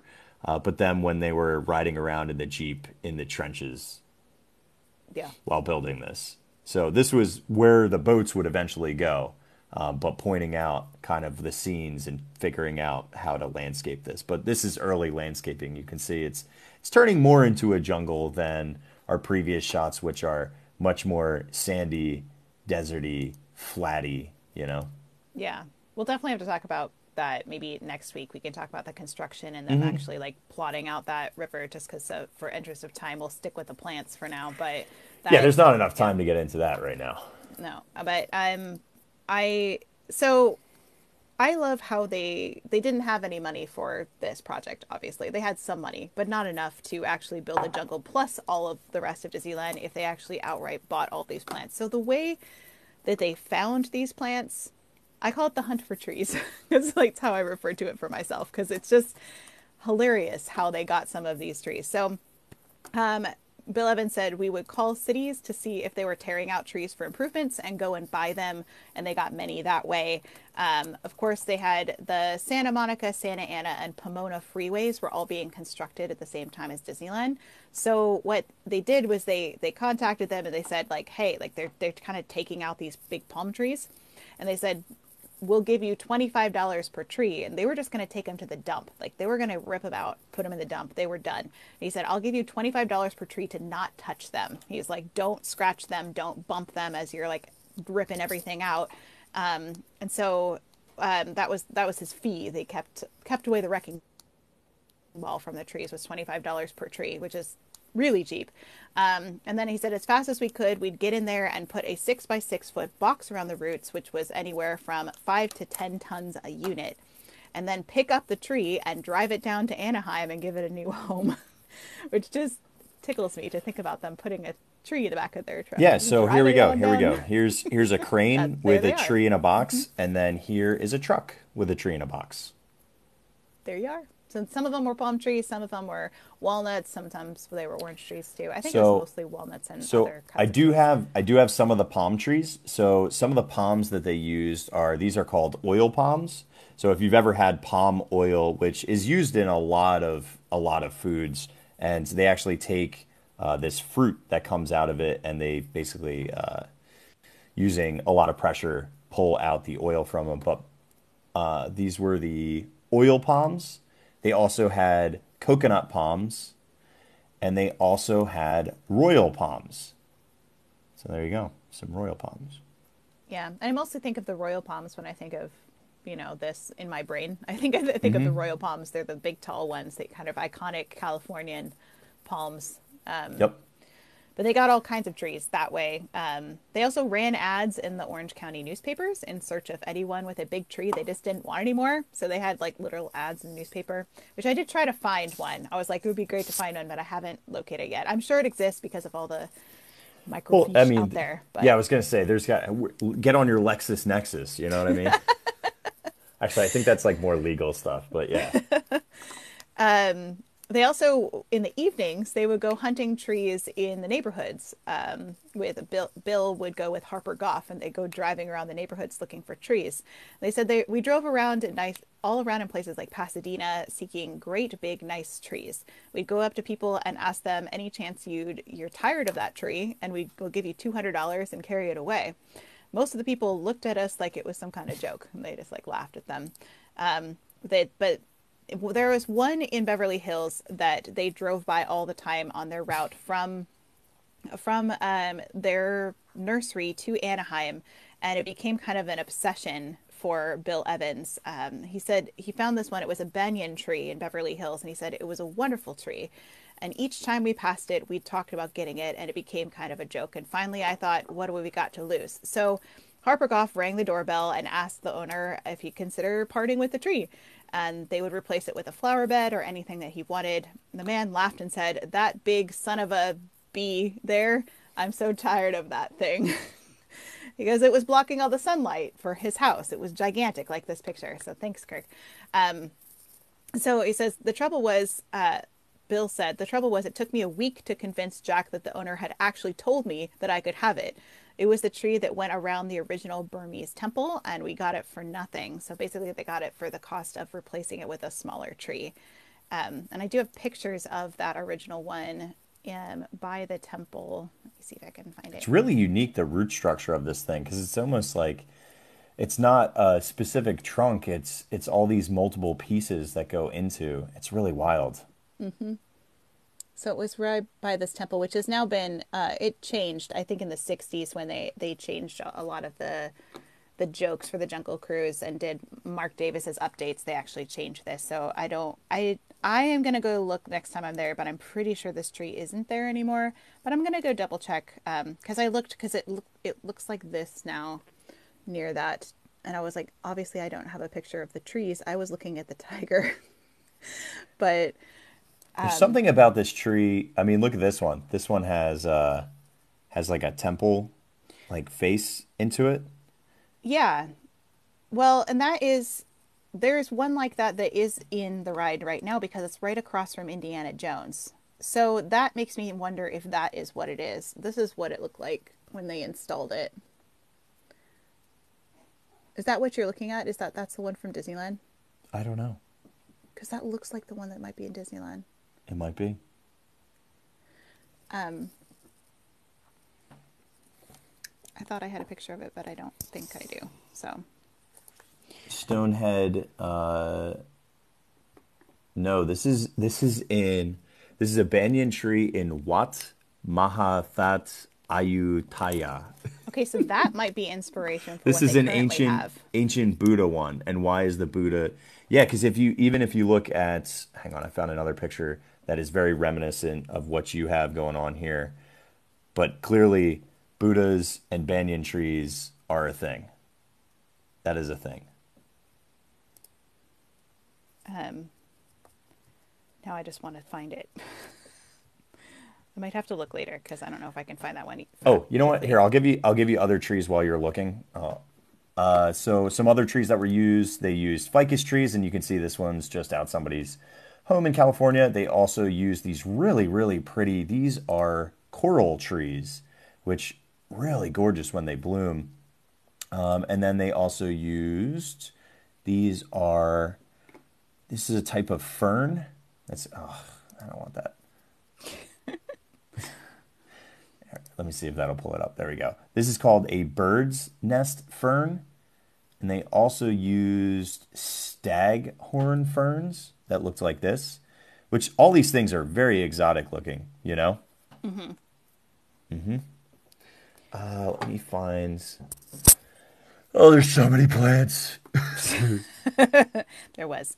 So I don't, gosh, I don't think I can find it quickly. So it's something I'm going to look for. I might post it later if I find it in the Discord because there is a, a head that's kind of has things. Oh, wait, wait, wait, wait, wait. I found it. I found it. I found it. Okay. This might be it. Look at this. Oh, there you go. Mm-hmm. Because that's very, the top is what's giving it away to be more indie because of that that square. So if that is the same tree, which it could be, it looks old enough that it could be, but then maybe they've trained it to grow over this because that was added for sure in the 90s when Indiana Jones was, because it, it looks exactly like Mara inside the ride. So Yeah, that's what I'm saying. um, okay. So they found the trees from um, knocking on doors, from ads, from the freeways, um, from all kinds of places. And then, of course, they had the Dominguez palm. And, you know, it's interesting because I think there was actually two trees that were on the Dominguez property. But the Dominguez palm, the specific canary palm, was one that was like the one that they had to keep. But I, I feel like there was two because all the pictures I've ever seen, there was two palms. They look very similar in age. This is from 1955. The Nile Princess. Uh, so let me show. I got some more plants. Where am I at? Uh, these guys, which are called heliconias. They're really pretty. Look like little tiny birds or something. Mhm. And then we did these ones already. These are the bromeliads, Yeah. which are really pretty. You see these a lot in the Polynesian resort too. They use a lot of bromeliads. Yeah, there's kind of a standard tropical plant. Mm-hmm. And then where did I just put that Google search, which had a couple of good pictures? There you go. Here's some from, and then the current horticulture. I had, I had a good article that had a bunch of pictures of like the current. This might be it. Does this have the gallery? No, it doesn't. There's oh here we go. Yeah, yeah, yeah. this is the one I was looking for. Where uh, this is like a current uh, Disneyland horticort uh, horticulturalist. Ugh, terrible. Hang on. Ugh, what do I gotta? What do I gotta pay? This is this got a paywall? What's happening here? No. But I, I just Um, like seeing him at night, like picking up palms that are dead and like cutting things off. There's a picture in here too. Please provide an email. No, all right, here I got it. I got an email for you. Kate at Cicero. no. Hang on. No, I don't need any more. I do have got this it. book. I was trying to see if there's There anything in this one. I do have this really great book that I haven't um, looked at in a while, but this is a fun one to recommend. It's probably pretty old. It might not even be still published, but this Disney's Glorious Gardens is a great one if you're interested in um, plants and the way that they style all of their landscaping. It has a lot of really interesting details about that. It has if you're if you're a gardener, they talk about climate control. They talk about how all the little details about how they take care of all of their plants in Disney in the Disney parks. So highly recommend that one if you're really into gardening. Um, they can give you, they talk about sculpture gardening and how to care for your roses and things like that. So you can actually have some good Disney tips for your gardens.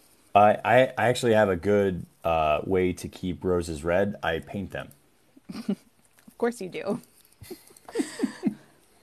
um, they do show the the crews taking care of the plants on Main Street here too. So.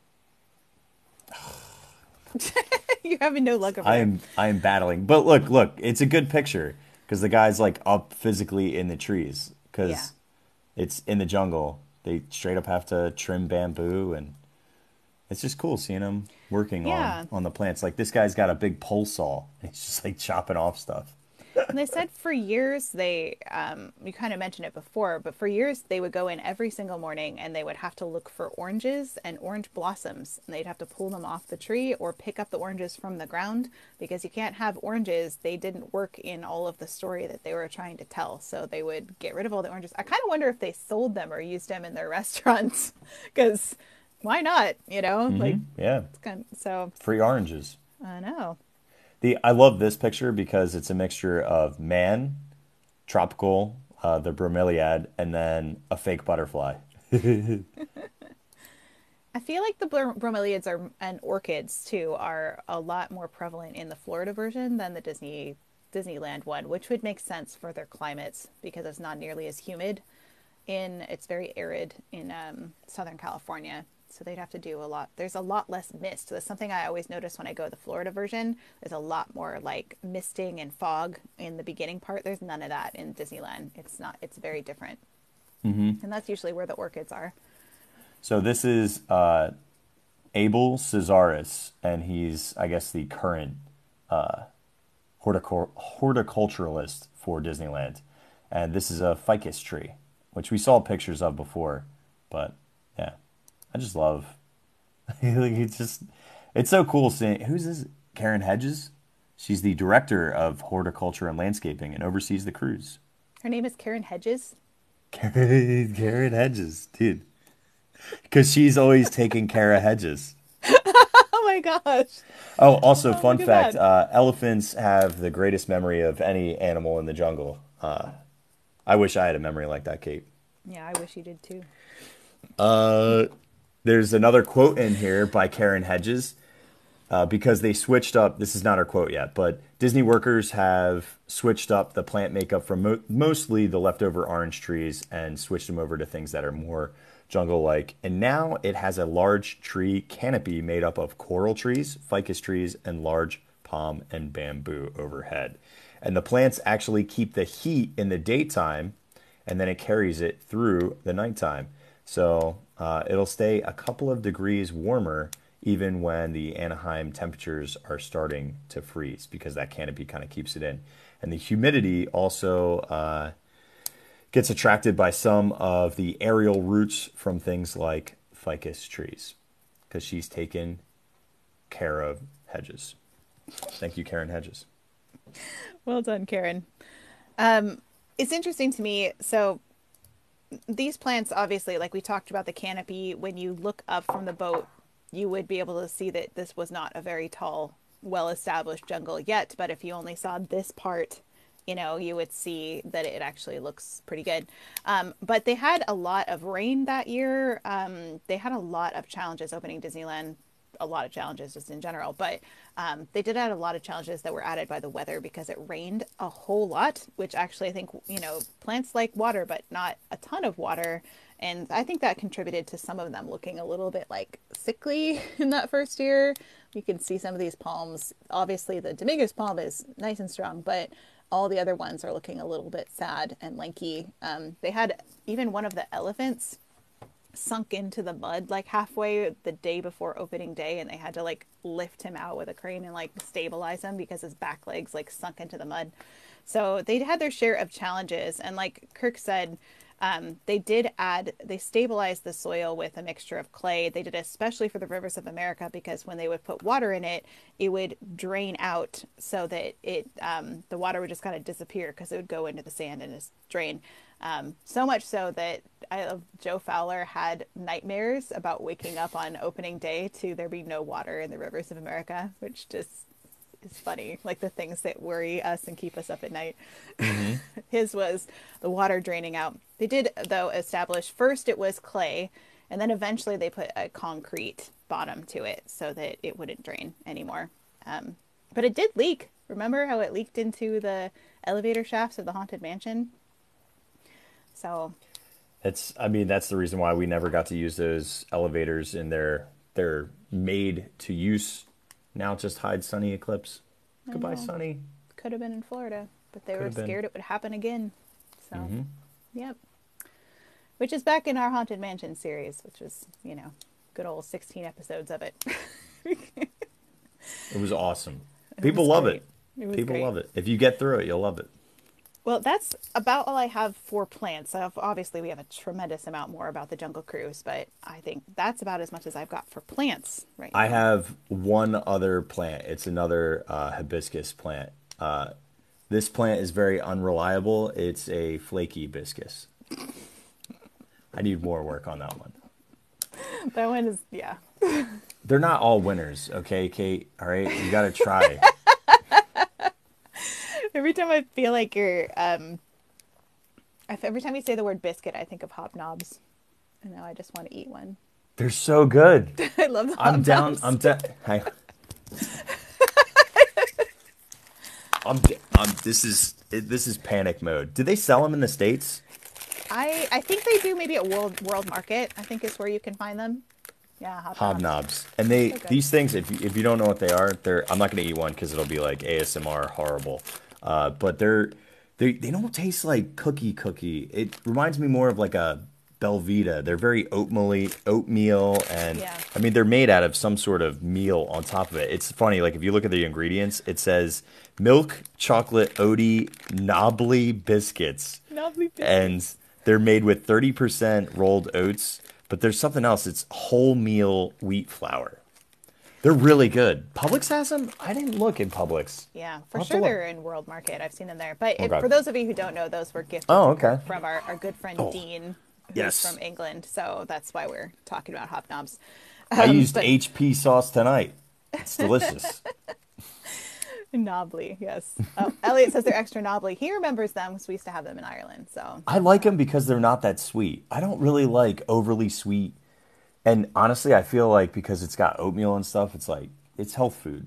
they have they have versions of them that don't have chocolate Okay. on them too. So if you wanted ones that are just oat, Oh, you know what? The, the one thing I don't like about them is you do get that the chocolate is really thin and it Yeah. melts like instantly. it's like all over your fingers. Yeah, It really does. Mm-hmm. It's a whole process. yeah, yeah, yeah. That's the downside. But It's totally healthy. Yeah. it's it's made of oats. Well, I don't know. I, you know, I mean, it's saying each biscuit contains uh, 388 kilojoules. So that means nothing to me. So it's perfect. Calorie it- free. I, no, it says 90, 93 uh, kilocalories. So 93 calories per. That's like little But- calories, right? Yeah, little baby calories, you know? and honestly, the adults, just for your adults reference intake, energy per 100 grams, because that's how I measure my food, uh, is only 494 calories. How many cookies is that? Like, just tell me how many, how many biscuits. Also, it's part of the one, two, three healthy balance. They're saying these are these are healthy. That's what I'm, I'm convinced. They're health food. Sure, it has oats in it. That qualifies. Come on, that's like oatmeal cookies are the healthy cookies. They've That's got I'm saying. raisins and oats. You know? and- Yeah. You don't do raisins though, right? Are you an anti-raisin person? I can do them in a, like an oatmeal raisin cookie. I could do. I can't. Okay. I cannot abide by stuffing. If you put raisins in your oh. stuffing, we got to chat. I put cranberries in mine. Is that acceptable? Kate, when we get off this, I need to talk to you. Oh no. No, cran- cranberries, but you probably put like sage and thyme in yeah, it. Like really, yeah, like herbs and things. just leave the mulling spices to your wine lady, okay? Don't put them in the stuffing. You're ruining it. What? I'm just kidding. Oh my gosh! Sometimes I, to- put you- sausage in it too. It's really good. That's see. Now you've totally redeemed yourself. You've Okay, now good. gone full circle. I was out, now I'm back in. Okay, good. Well, I feel better. I'll be able Yeah. to sleep tonight. See, approves this of is my stuffing. like wake up in sweats. Cranberries. Do I use craisins next year? Do I not? I like. I don't use real cranberries. I've always used dried ones. But Which- I use which you great cranberries guys- for sauce. What you guys didn't also realize is we are sponsored now by Ocean Spray and Craisins. so secret, and secret. That's how it took us a long time to get there until the end of the program, but we got the plug. What would we be kidding. sponsored with for the Jungle Cruise? Like I don't know, like fertilizer and Ziploc. Ziploc would be great. I would love Ziploc to. would be great. yeah, Hey, I would Ziploc. take Ziploc all day. Secret sponsor, yeah, exactly. We need some sort of water purification, something or other, backside Oh, yeah. of water. Sure, Brita? sure. because they because they got the that turbidity of the water that we Mm-hmm. talked about. Ginger snap cookies. Ginger snap cookies. Oh, see, yeah. Maybe maybe an airline because it's plain to see. That would be a good advertisement. The plane's only in the Disneyland or Disney World one. It's not in. Don't Disneyland. don't stop. Just you can't say it like that. Don't say it like that. All right, it's not fair. What? No, can you? I I hate when you talk about Disney World. It always is like disparagingly, and I know you don't mean it, but like I that was like, a, it's like it's, was- that's only in the Disney World, and I'm like, but okay, it still is good. No, I actually really like the plane. I'm actually very Yeah. sad that that's not in Disneyland because Yeah. Mm-hmm. it's the Casablanca plane, which we'll talk about later. But Yeah. no, I like the plane. I'm sorry. I'll try Mm-hmm. to speak differently in the future. I love Disney World. It's just it's not Disneyland, but I love Disney World. I still think the best way to explain the dichotomy between Disney World and Disneyland. Disneyland doesn't have time to mess around, and they have locals, so they need to change it up, and it needs to be good. They don't have a lot of space. Disney World has the luxury, so it means that we are a lot more options, but that means that a lot more options are not good. Well, But they're- not, it's not always even a lot more options. Sometimes it's just more spread out. It's just like more space. Like there's a lot more mm. space in Disney World. I guess you could say because of there's extra gates, there's more options. But by the sheer number of rides that are available in that tiny little space that is Disneyland and California Adventure, I don't feel like I'm getting the short end of the stick by like first. No, I don't. World I don't think. Disneyland. I don't think a track. Well, I think at DCA you're getting shorted a little bit. In Not Disneyland, now. I don't They've think added so. so much to it that it feels I don't it's it's a it's a really you got you got to go there, my friend. With Maybe maybe Campus now. Mm-hmm. Adventures Campus has helped, but they still need another attraction there. I don't know if um, San Fransokyo is going to get an attraction. Maybe it will. Um, but I, I feel like that San whole midway. San San Francisco, whatever. I don't. What do I know? Like, wait a minute. Don't listen to me. That's not right. Don't listen to me. Nobody said I'm like a movie expert, you know, or an expert in anything. I didn't research this, okay? Well, we just got Mickey and Minnie's Runaway Railway added to Toontown, so that's something. Well, you, you Um, can't. Well, they just pushed it back to March. The uh, all the other stuff, so you can't go on. Wait, is is Who Framed Roger Rabbit pushed back till March too?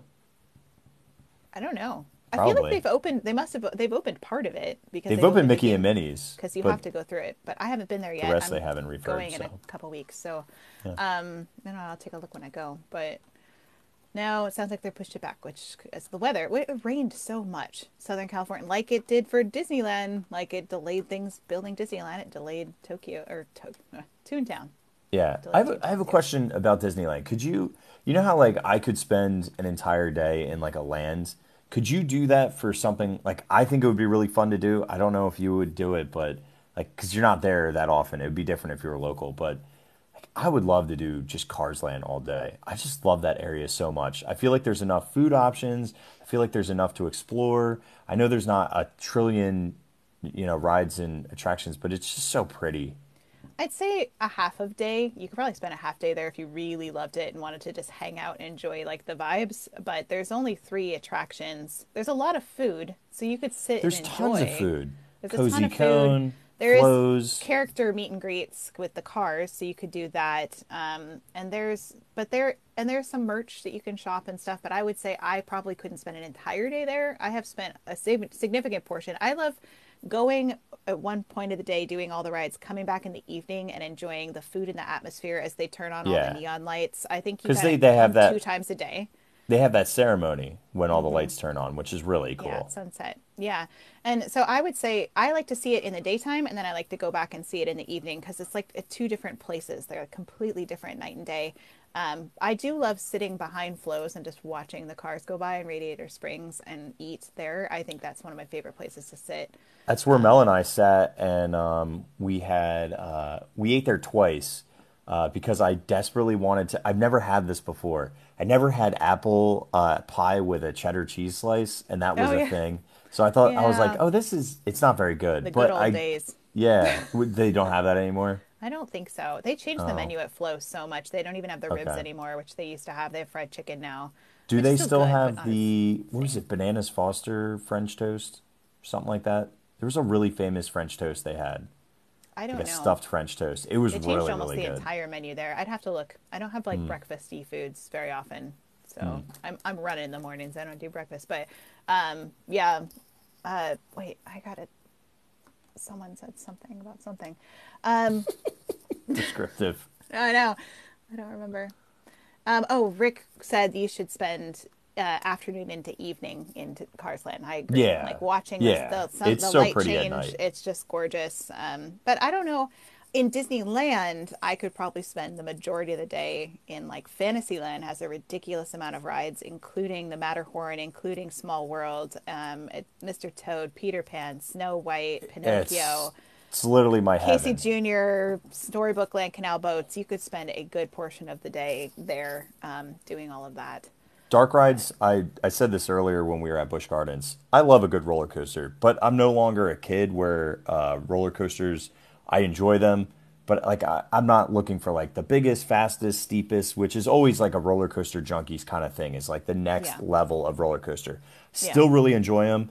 They don't impact me in one way or another. I just really love storytelling, and dark rides are my thing. So your Fantasyland is like my heaven. I just It's love so everything about It's your lovely. Fantasyland. It's And there's so many beautiful. attractions. Oh, and the carousel. I don't even say the carousel and Dumbo. just like I can't, I can't even remember them all. And then you've Mm-hmm. didn't got say Alice? are in there. Alice is in there. Yep. And the tea uh, teacups and Mad, Mad Tea Party and I mean, it just yeah, never ends. Your fa- like the- our fantasy land seems so boring now. It is. Sorry. It really is. I mean, like ever since they put Princess uh, Holland, I've been not as much of a fan. No, that seems like wasted space to me. I feel like they could have a It's- really great ride there, even if they didn't have Mr. Toad or Snow White or whatever. You know, I know Mr. Toad was in Winnie the Pooh, but even if they didn't have like, they need something there. I agree. I 100% am. I agree with you on that. We agree. Yeah, that there needs to be an attraction there, and let's also make that Sleepy Hollow Dark ride and tear down the Hall of Presidents. There's space. Make it. Let's go. Only if they put some of the things from Hall of Presidents somewhere else, just so we have memories. Because there's Walt really wanted that ride. That was like a big thing for Walt. I think we could have pieces of it somewhere without having the whole attraction. Throw it in one man's dream. There you go. There's your dream, bud. There they are. You can go see it. Oh it would but- work there. That's like our only museum piece is in studios. So Well, do you like um, Great Moments with Mr. Lincoln? no. No. The only reason why I like it is because of that the birth of uh, audio animatronics. But no, I like that one. I think it's good. I I I agree. The Hall of Presidents is pretty lame, but I think that the Great Moments with Mr. Lincoln. the Hall of Presidents could fit in the trash. I agree. there's a lot you. of presidents in there. There are. There's too many. Well, the thing I have against the Hall of Presidents is it beca- it always becomes the huge, giant, controversial thing every four years. It becomes yeah, this it's giant it's just thing where we have it's to not fight with each enjoyable. No, First, first of all, the the documentary isn't even uplifting. It's it's not exciting. It doesn't make me feel good about being American. It just it's just like talking about sometimes. It's not even Yeah. like showing the challenges. And then the reflections of the presidents as audio animatronics. Dude, like put beards on them, throw them in pirates. Like, let's go. Like, we're fine. Add we don't need them. had a couple a couple pirates, a couple new pirates. Seriously, Some of them were kind of like pirates anyway, so I guess that that, that tracks. can I can I tell you like a really brief story that's um, that's an Imagineering story. So like my friends who um, work in engineering and Imagineering over at Disneyland told me a funny story about pirates. The uh, do you know the, you know how pirates has the lamppost pirate and like the one guy's holding up the other one and they're like real staggery, right? Well, Yeah. the the really staggery one, his hip, his pelvis joint broke. So oh, the no. ride was down and he was like all wiggling down, right? But to get him up and running, they literally found a broom handle and snapped it in half, shoved it in the joint just to get him through the day and zip tied it and then let him go. And then coming back, they fixed it later that night. But I think I that's love like that. I love that Ingenuity. there's yeah, just That's great. little little moments to make it happen. It was a great mean, story. That's pretty much what they did with originally with the pirates anyway, right? Like just kind of like Right. made it Dude, happen.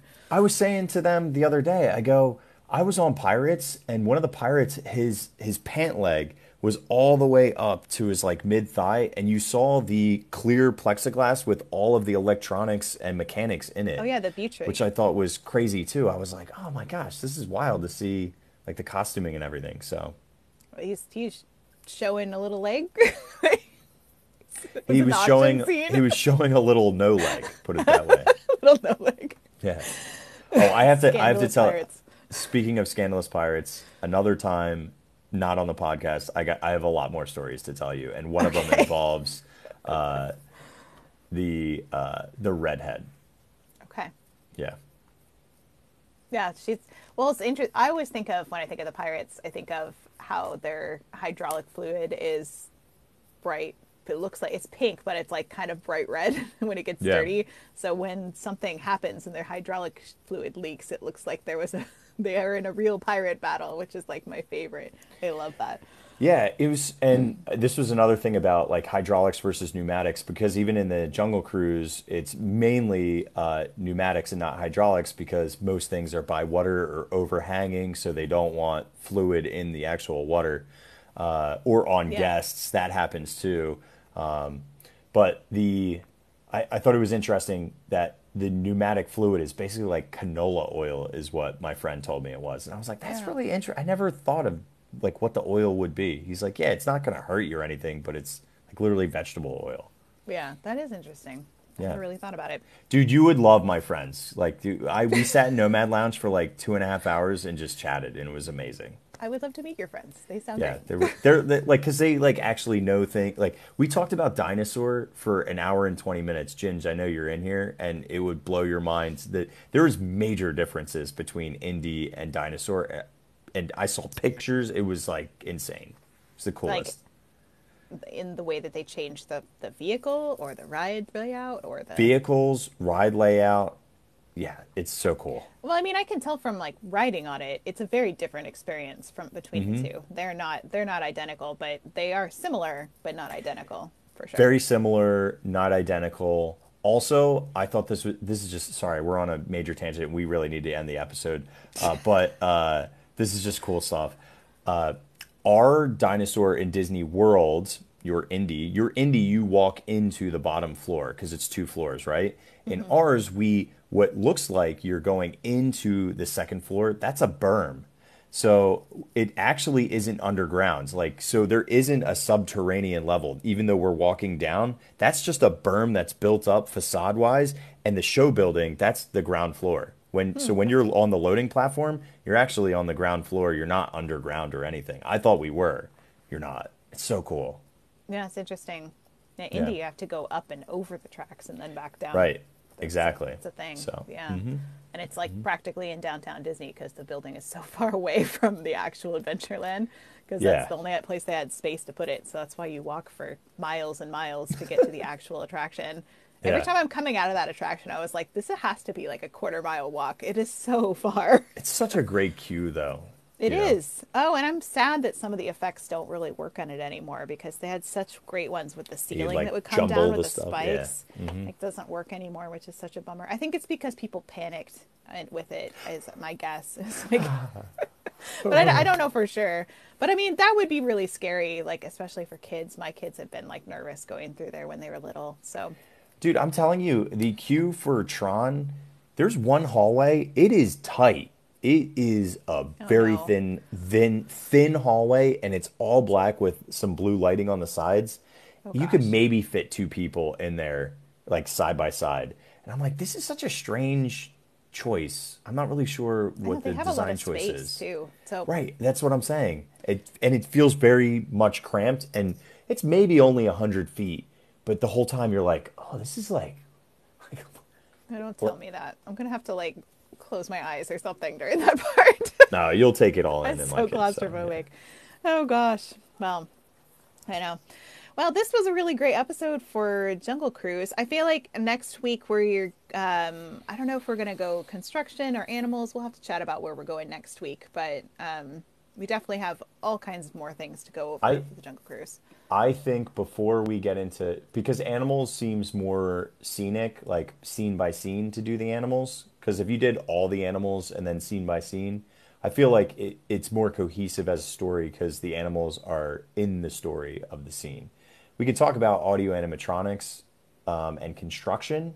I think construction, like the rails, the tracks, the boat systems, the Yeah. canal, Yeah. um, maybe some of the mechanics, like even the waterfall, that kind of stuff, and, and maybe oh, yeah. just we should talk about Schweitzer Falls. Yes. right? the building of Schweitzer Generalized mechanics. I need to go into. Got to remind me on Monday or Thursday next week. I have to go into Skipper Canteen and take some photos because there's some. Uh, there's some really good photos that involve like Albert Schweitzer and Schweitzer Falls and tell that story a little bit more. So, and I know I don't have them on my thing. So. Yeah, let's do that. Yep. So join us next week for talking about the construction of the Jungle Cruise. Is where we're going to head next. Um, all the me- the little mechanical pieces and the way that they actually chose to dig out the riverbed, which is actually quite a funny story. So that's what we'll talk about next week on Distory. We really appreciate all of you guys hanging out with us and chatting and um, hearing all about the 800 plus plants that are in the Jungle Cruise. It's been a really fun episode. We got to point out all of our favorite ones, like that one, and that one right there, and that one. This one's named Bob. Uh, this plant is named Fred. This plant. Oh gosh. Well, thank you, Kirk, for uh, hanging out with me and, and for chatting about all the plants and things. It's Yeah, really thanks. fun to hunt down trees with you and talk about Dominguez palms and learn all about. I mean, gosh, we even the canopy on the Jungle Cruise that that blew my mind. I'm gonna do more research for our our episode next week about that canopy and figure out exactly why did we never get the bamboo canopy. That's our mystery mystery. I'll have to. Um, I'll have to ask some questions to some people who may know.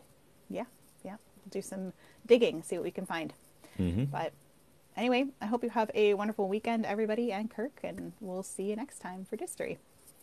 Sounds good. Thanks so much for chilling. Yeah. Have a good night, everybody. See you guys. See. Bye.